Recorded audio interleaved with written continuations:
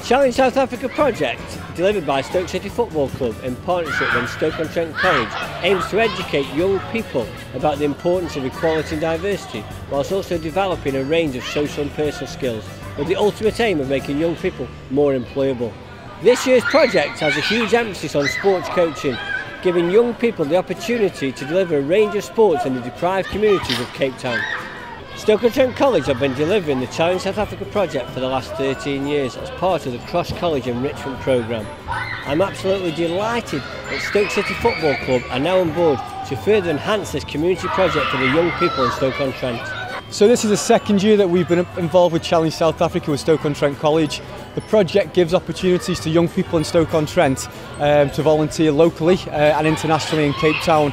It's about developing their confidence, um, social and personal skills, with ultimately becoming employable.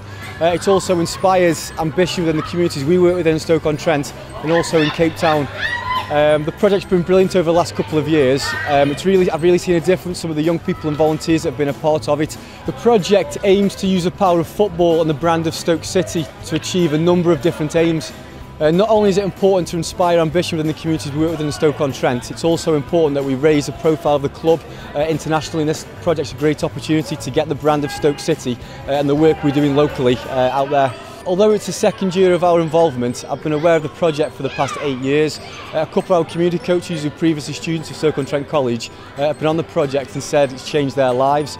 I knew it was important for the club to get involved with such a project um, to, to make a difference to, to young people locally.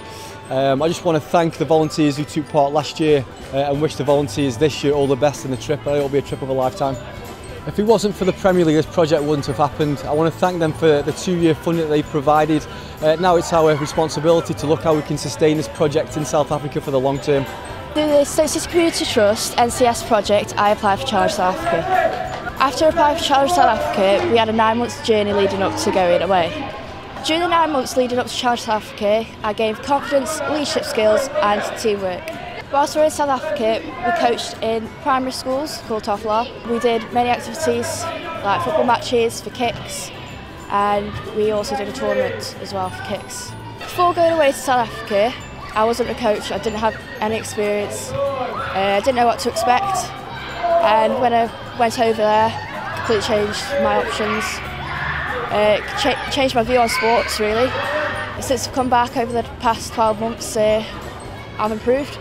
I've become a community for City Community Trust and now I'm going out to local communities and sports coaching. Um, it was just so fabulous last year. Last year we laid the foundations really for the work we're going to do and we started to make links with the primary school. So I've met with the head teacher and we've been emailing backwards and forwards. We had little mini projects going on throughout the school including pen pals for our for our children. So this year when we go back we're just going to build on that and develop our links with the school, take it even further. It's just a, a country of extremes. You've got some really great, fabulous places and then some really heartbreaking places. It's a really fascinating country. The diversity is just incredible. It's a, it's a wonderful place. Everybody should go, I think. Two years ago, I went to Uganda to teach there, and it was one of the best experiences I've had in my life. Um, and I just felt like the impact that had over there in the community was really positive.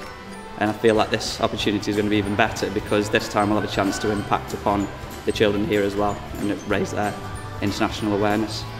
I'm hoping we'll see a lot of the culture um, and have an impact on their community so I know that we're going to be going and helping out in the, with the homeless and also with the AIDS projects and also doing a bit of teaching hopefully as well. It's a great opportunity for our children here um, to learn from our experience over in South Africa so I'm hoping that what we learn when we're out there we can bring back here to our school and help the children to really learn and gain from our experiences really.